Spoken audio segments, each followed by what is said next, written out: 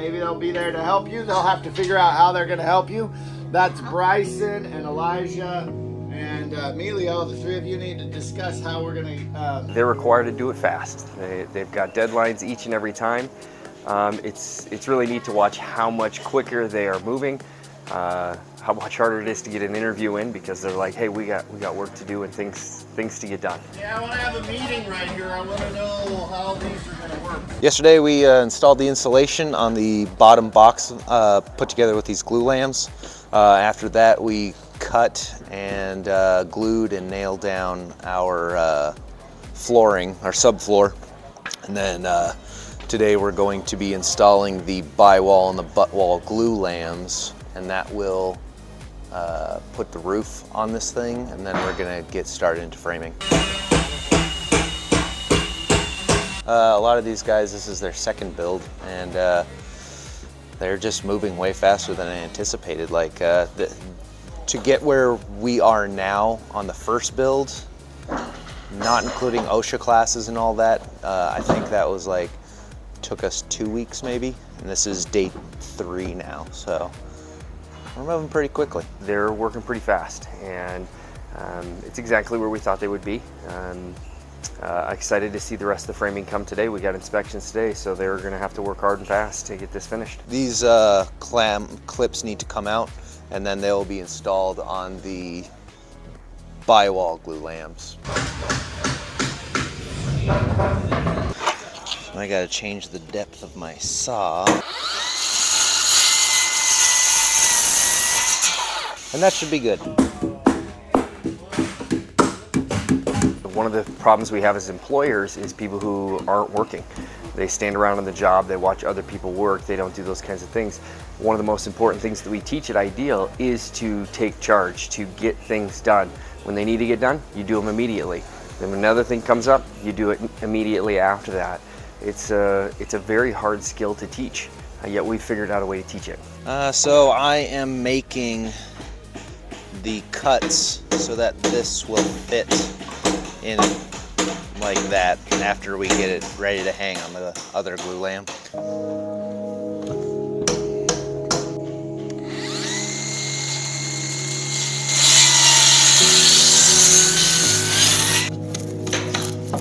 So this will sit in like that, nice and flush.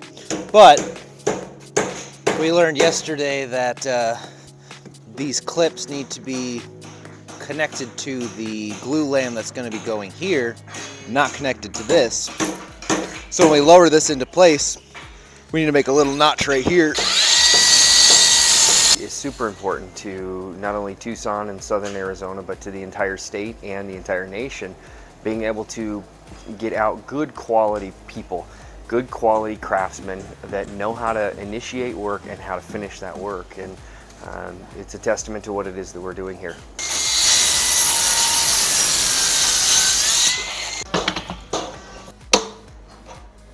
So when we have these installed on the by wall, these are going to be able to slide into place like that and then be able to, or this will be able to slide into this, I should say. Like that. So this one is pretty much good to go and ready. So take a saw and just cut off this little chunk right here on both sides.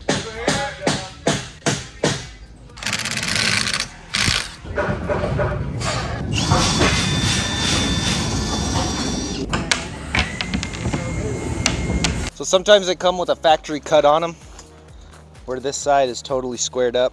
This one is not. So we have to make, cut this side, flip it around, and then cut the other side. I just squared up this end here and drew a line here. And that's where my cut will be, right there. And I'll take this off and square this piece perfectly 90 degrees. No, perfectly 90 degrees. and uh, then we'll measure 21 feet from here to there and cut off that side as well but I'm gonna wait until this is cut off before I make those measurements now we're waiting on uh, Austin to get his cuts. Yeah. Hurry up you. Yeah give me just a little bit. Perfect. Good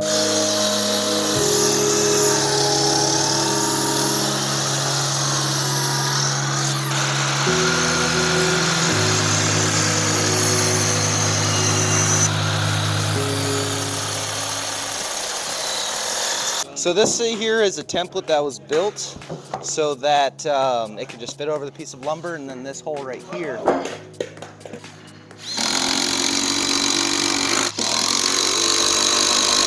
Right, you did it right. You did it right. Yeah, I was just checking. I come Billy on my bad. That's cool. Maybe that's how we're supposed to do it. Hey Nelson.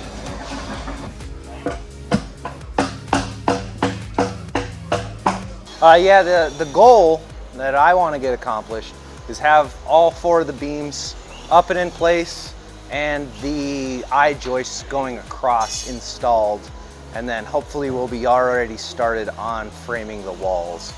Get it tight, get it right, and don't get hurt, I guess.